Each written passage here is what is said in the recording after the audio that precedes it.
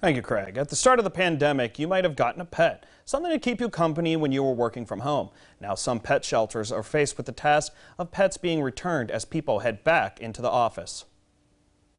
Shelters are seeing some familiar faces come back in. We're seeing a lot of our animals that we have adopted out over the pandemic that have been re adoption returns, which we expected. We knew that there was going to be a turnover. Animal Charities in Boardman is getting a mixture of hoarding cases and returns.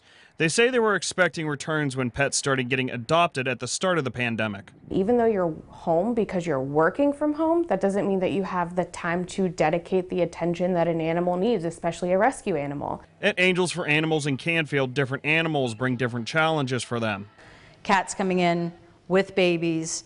People have been home, they've been noticing them more outside, so they've been feeding them more outside. They've been sheltering them more outside, but they're not fixing them. Sherry Banky is the cat manager for Angels for Animals. She says this is the typical start for cat season. Many of them are born and then dropped off at the shelter. So combining the two issues means they are forecasting a lot of cats and kittens coming in. We have upwards to five, 600 will be going into foster before this is done with every month until kitten season's over in November.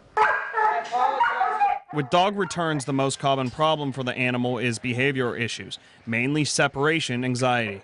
And this is stuff that they don't necessarily realize in the day to day of working from home until they start going back to the office and then the dog is destroying things while they're gone. They've seen a lot of other issues why dogs are returning to the shelter. But overall, people don't realize the significance. They thought it was more convenient for them to get an animal because they always wanted one at the time, when really we knew it's a lifelong commitment.